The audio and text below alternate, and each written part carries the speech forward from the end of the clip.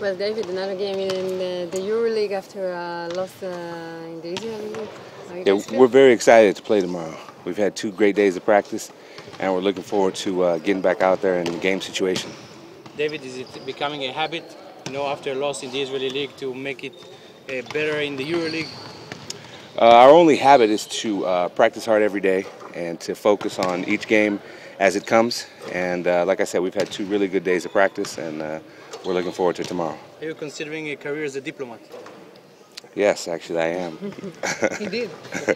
David, what did you do to put um, Monday's game behind you and everything that, that happened there that was out of your control? You get back in the gym. That's about it. You uh, you just do it. You put it behind you. That's part of the job. You have a short memory. You uh, get a good night's sleep, and then you get back to work. But David, we saw uh, a big problem of Maccabi this season that to get the, this uh, great practice into the game. Yeah, you know they say you practice like you play, so we have to figure out how to how to do it every time.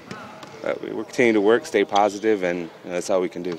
David, one of the problems of Maccabi Tel Aviv this year that you're not able to kill games when you're a bit ahead.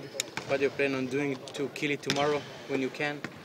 Well, we just have to stay more focused in those situations. Uh, when we do get big leads, we gotta execute even more offensively and uh, really focus in on defense. And uh, you know that's just something that we, as individual players, have to do on the court. All right. What did you do to focus on this game? Because the team you're facing aren't the team you beat last time. They have the MVP in November in the EuroLeague and any extra incentive playing against Richard. No, it'll be nice to see Richard again, just because he's my friend. But um, no, you know they're they're playing well right now, and uh, obviously this is a battle for first place. So we're really excited, and we understand the situation we're in. And other than that, we're just ready to get back out there and play.